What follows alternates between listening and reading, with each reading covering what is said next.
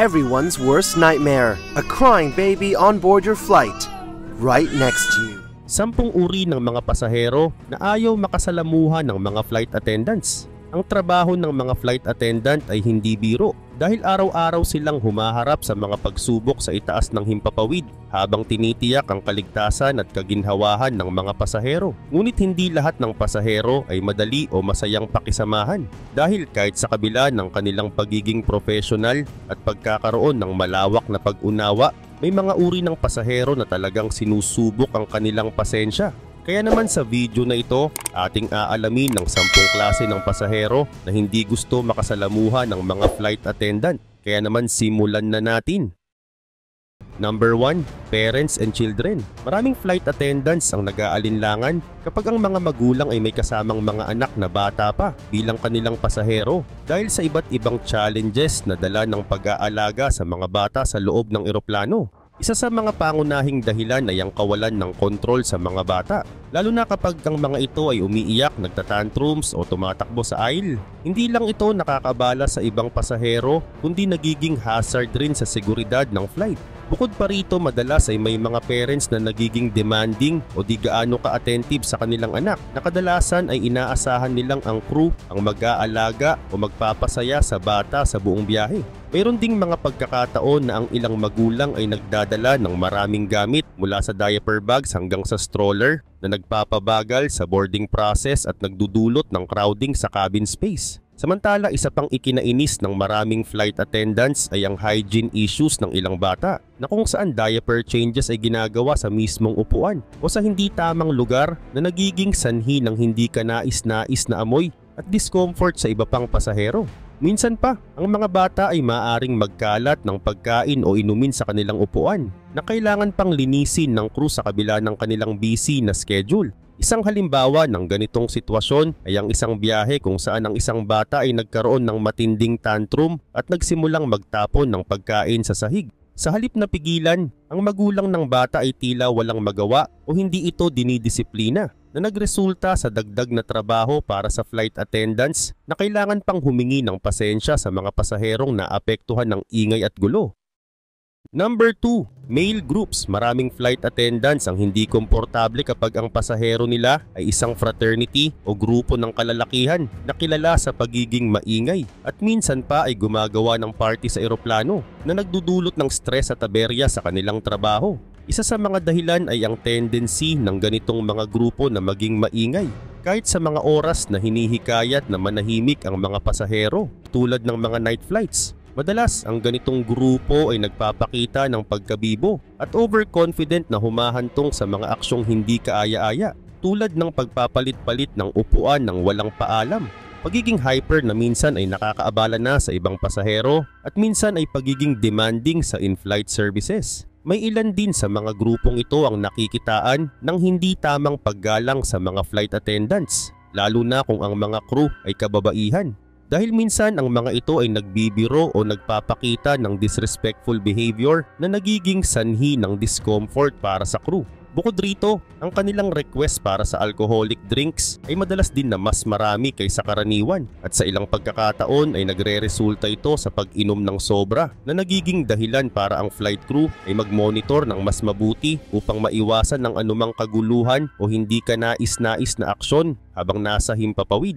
Samantala may ilang halimbawa ng ganitong pangyayari na kung saan ang isang flight na may sakay na grupo ng mga kalalakihan mula sa isang fraternity group na bumiyahe para sa isang reunion na kung saan sa kalagitnaan ng biyahe ang grupo ay naging sobrang maingay at halos uminom ng maraming alak na nagdulot ng discomfort sa iba pang pasahero at lalo na sa mga flight attendants na kailangang maging kalmado pa rin kahit sa ganoong sitwasyon. Sa kabila ng paalala ng crew na hinaan ang kanilang boses, patuloy pa rin silang nagbibiruan at nagkakantahan na nagudyok sa iba pang pasahero na magreklamo. Kinailangan pang tawagin ng pilot ang atensyon ng grupo upang maibalik ang katahimikan sa flight na nagdulot ng malaking perwisyo at stress sa crew.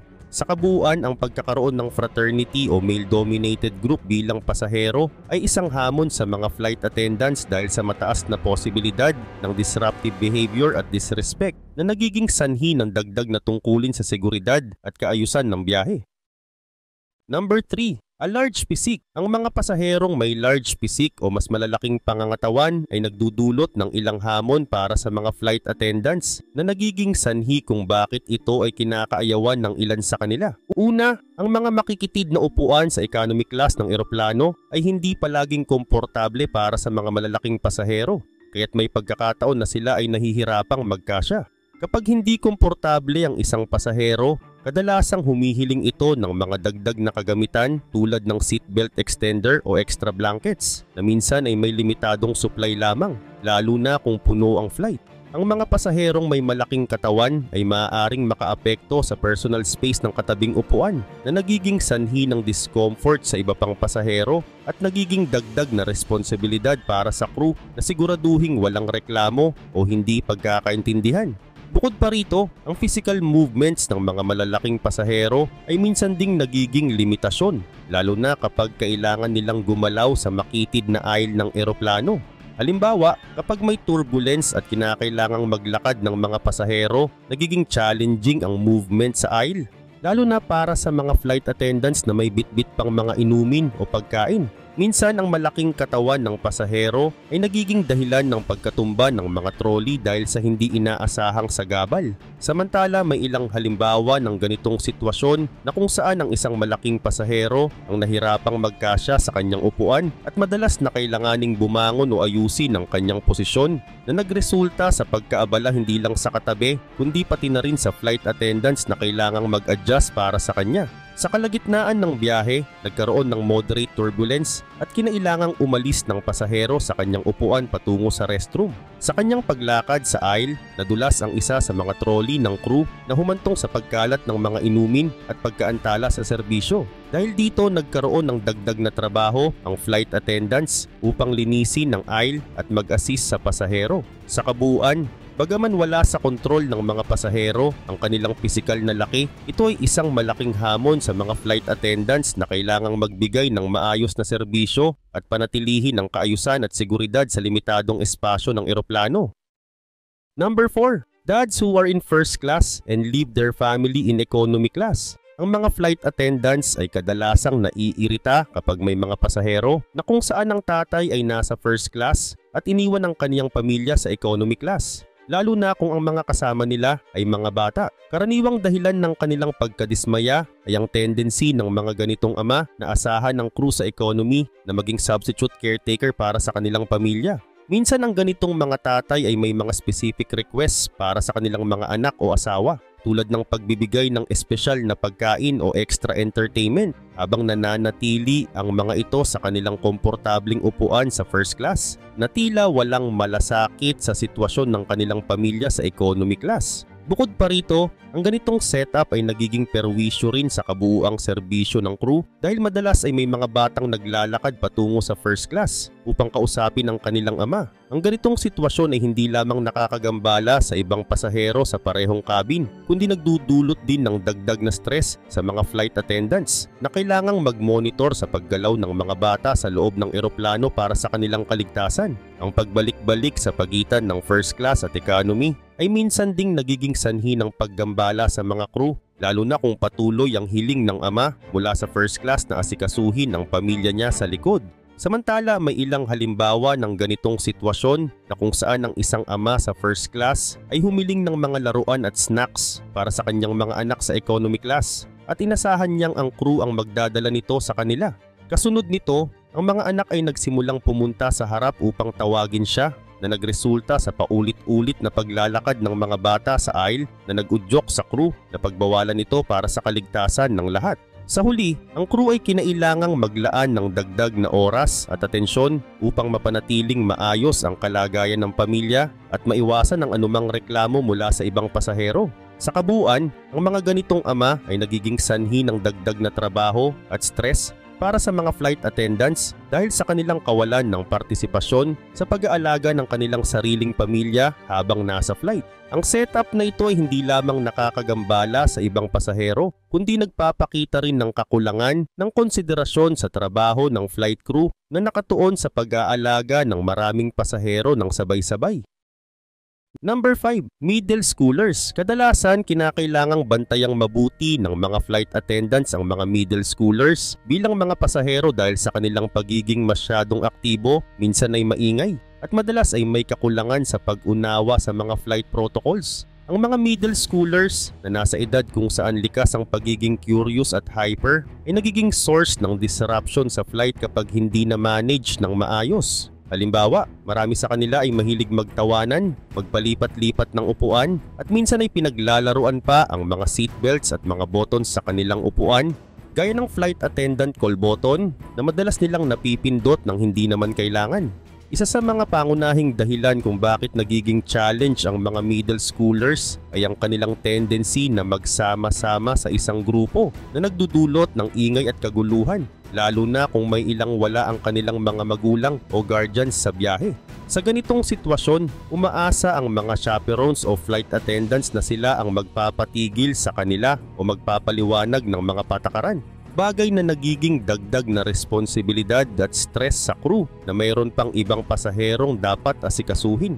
Bukod dito, ang pagkakaroon ng ganitong grupo ay nagdudulot din ng pangangailangan ng masusing pagbabantay dahil sa posibilidad ng hindi sinasadyang aksidente tulad ng pagkakabangga sa mga trolley o paglapit sa exit doors ng hindi sinasadya. Samantala, isang halimbawa ng ganitong sitwasyon ay ang isang grupo ng mga middle schoolers ang bumiyahe ng walang kasamang magulang at sila ay sobrang naging abala sa pagkukwentuhan at pagbibiruan na hindi nila napansin na may mga pasaherong natutulog o nais magpahinga. Nagpatuloy ang ingay at pagpapalit-palit ng upuan sa kabila ng ilang beses na paalala ng crew na mag-ingat at manatili sa kanilang upuan. Sa isang punto, ang isa sa kanila ay napindot ang flight attendant call button ng ilang ulit habang naglalaro dahilan upang maabala ang crew sa gitna ng kanilang serbisyo at magdulot ng pagkainis sa ibang pasahero. Sa kabuuan ng pagkakaroon ng mga middle schoolers bilang pasahero ay isang hamon para sa mga flight attendants dahil sa kakulangan ng maturity ng mga bata para sumunod sa mga alituntunin ng flight. Kinakailangan ng dagdag na pasensya, atensyon at pag-monitor ng crew upang masigurong maayos at ligtas ang biyahe para sa lahat ng pasahero. Number 6 passengers who bring too big bags to be carry on. Isa sa mga kinakaayawan ng mga flight attendants ay ang mga pasaherong nagdadala ng masyadong malalaking bags bilang carry-on kahit hindi ito pasok sa itinakdang laki at bigat. Ang ganitong klasing pasahero ay nagdudulot ng abala at delay sa boarding process dahil sa kanilang pagpilit na isiksik ang kanilang malaking bag sa overhead bins na kadalasang puno na at may limitadong space. Dahil dito madalas ay kailangan pang humingi ng tulong ang crew sa paglipat ng ibang gamit o sa pag-ayos ng mga bags upang maipasok ang mas malalaking bagahe na nagiging sanhi ng pagkaantala sa pag-take off ng flight.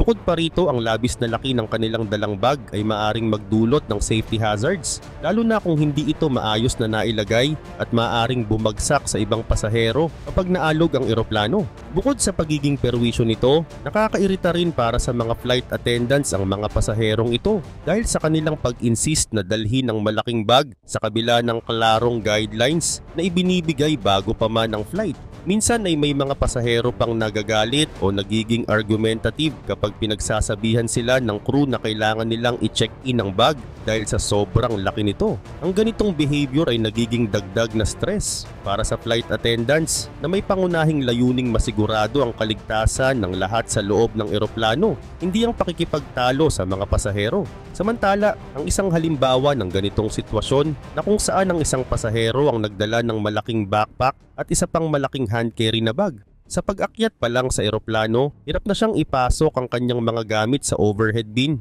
na nagdulot ng aberya sa ibang pasaherong nais na ring maglagay ng kanilang mga bag.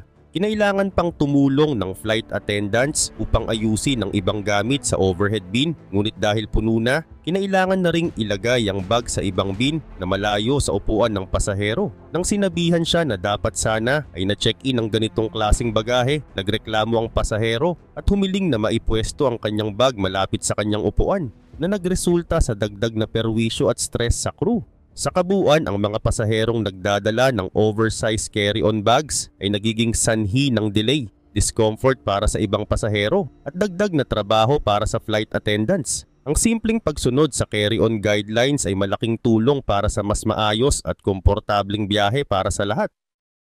Number 7. Needy people. Ang mga flight attendants ay kadalasang naiirita o nahihirapan kapag ang kanilang mga pasahero ay masyadong needy o nangangailangan ng sobra-sobrang atensyon dahil ito ay nagdudulot ng dagdag na trabaho at stress sa kanilang ship. Ang mga needy passengers ay mga pasaherong may maraming hinihiling o madalas na nangangailangan ng assistance kahit sa mga simpleng bagay tulad ng pag-aabot ng bag, pagsasaayos ng seatbelt, paghingi ng kumot at pati na rin sa paghingi ng inumin o pagkain na hindi kasama sa in-flight service schedule. Sa halip na bigyan ng oras ang ibang pasahero, natututukan nila ang masyadong needy na mga tao na nagpapabagal sa serbisyo para sa lahat at minsan ay nagiging dahilan ng reklamo mula sa ibang pasahero na hindi natutugunan.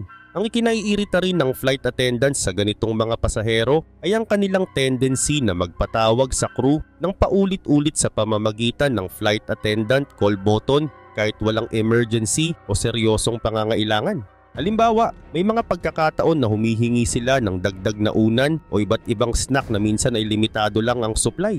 May ilan ding sobrang needy passengers na mahilig magtanong ng paulit-ulit tungkol sa flight status pati na rin sa mga updates tungkol sa oras ng pagdating o kung may turbulence ba. Dahil dito napipilitan ang mga flight attendants na maglaan ng labis na oras at atensyon sa mga ito kahit may ibang tasks at pasaherong dapat pang asikasuhin. Samantala, ang isang halimbawa ng ganitong pangyayari ay ang isang pasaherong nagpatuloy sa paghingi ng iba't ibang bagay sa crew tulad ng extra tubig, snacks at kahit tulong sa pagsasaayos ng kanyang upuan every 30 minutes. At kapag hindi agad na ibigay ang kanyang hinihiling, ang pasahero ay nagiging iritable at nagrereklamo na nagdulot ng tensyon at pressure sa crew kinailangan pang maglaan ng isa sa mga flight attendants para lang tugunan ang sunod-sunod na request niya dahilan upang magkulang ng crew assistance sa ibang bahagi ng cabin. Sa kabuuan, ang mga needy passengers ay isang malaking hamon para sa mga flight attendants dahil sa kanilang mataas na demand sa atensyon at serbisyo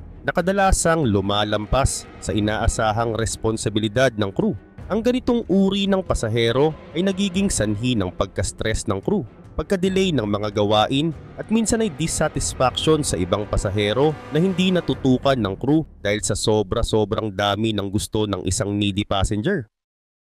Number 8, people who touch them. Ang mga flight attendants ay madalas na kinakabahan o naiirita kapag may mga pasaherong mahilig manghipo o mangtap sa kanila para humingi ng atensyon o assistance. Ang physical contact, lalo na kapag hindi inaasahan, ay hindi komportable para sa mga crew dahil ito ay nag intrude sa kanilang personal space at maaari pang maging sanhi ng awkwardness o discomfort sa kanilang trabaho. May mga pasahero na sa halip na gumamit ng flight attendant call button ay hinahawakan ng braso, balikat or minsan ay likod ng crew upang makuha ang kanilang pansin na hindi lamang nakakagulat kundi minsan ay nagdudulot pa ng pagkatakot.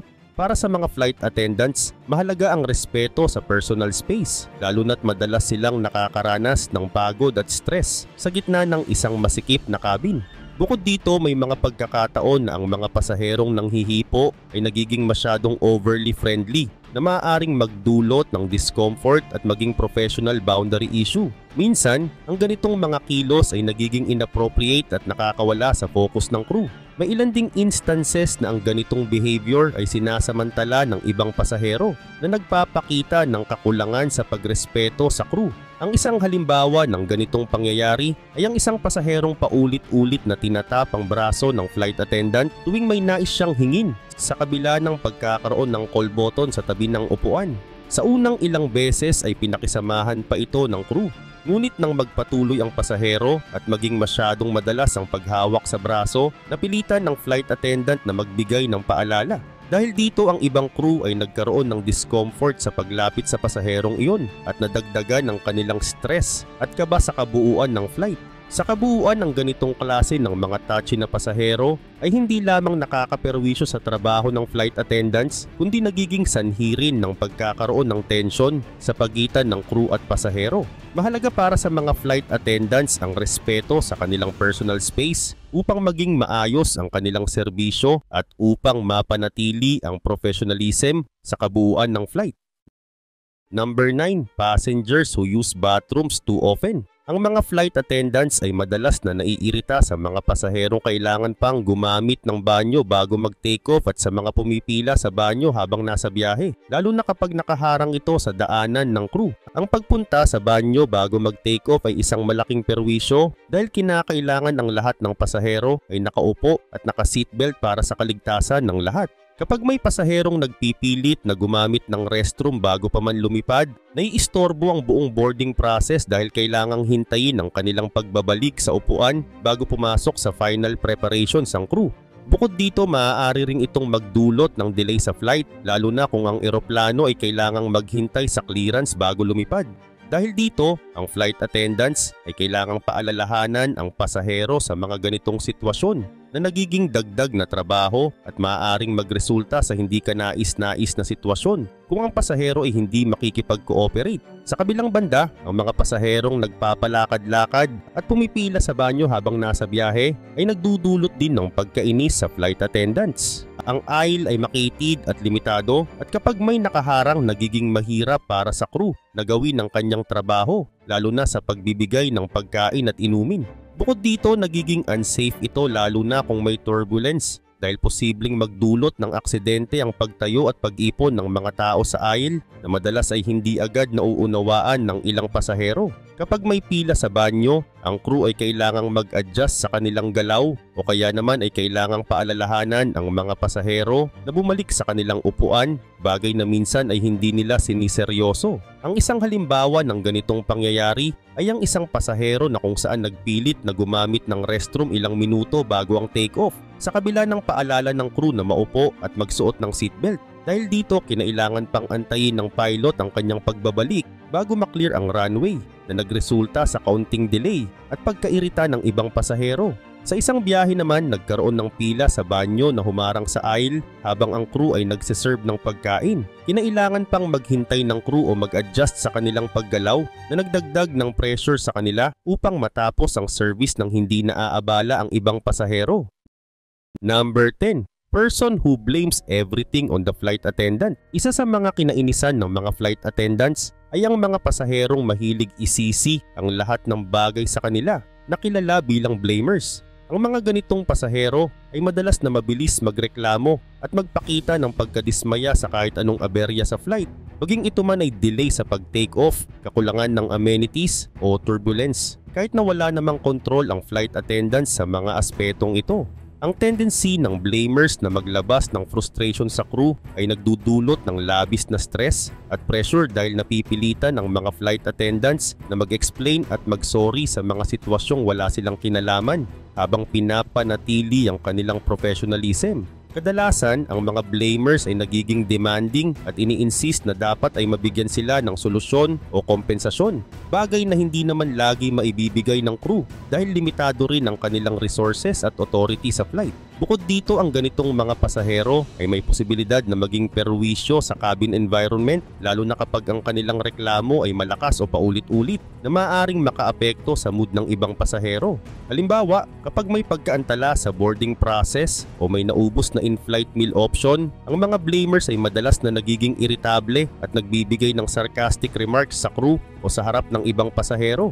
Sa halip na magbigay ng pasensya, sila ay nagiging demanding at minsan ay rude na hindi lamang nakakababa ng moral ng crew kundi nagdudulot din ng kaba at aberya sa kanilang paggawa ng kanilang tungkulin. Samantala, isang konkretong halimbawa nito ay ang isang pasahero ang nagreklamo sa flight attendant dahil sa delayed na pag-take off sanhi ng masamang panahon.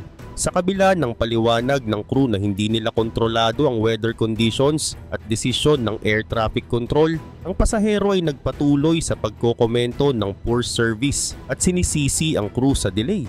Nagpatuloy ito sa buong biyahe at sa bawat pagkakataon na hindi naaayon ng sitwasyon sa kanyang gusto tulad ng pagkaubos ng kanyang nais na inumin ay muli siyang magrereklamo sa crew. Ang kanyang behavior ay nagdulot ng discomfort hindi lamang sa crew kundi pati sa ibang pasahero na nakakarinig ng kanyang reklamo at kinakailangan pang lapitan ng purser or senior flight attendant para lamang kumalma siya. Sa kabuuan, ang mga blamers ay isang malaking hamon sa mga flight attendants dahil sa kanilang pagkahilig na ipasa ang kanilang frustration at dissatisfaction sa crew kahit hindi naman nila kontrolado ang lahat ng aspeto ng flight. Ang ganitong klasing pasahero ay nagpapahirap sa trabaho ng crew na dapat sana ay nakatuon sa pagtiyak ng ligtas at maayos na biyahe para sa lahat. Ngunit napipilitang maglaan ng oras at atensyon para pagpasensyahan at asikasuhin ng mga reklamo ng blamers.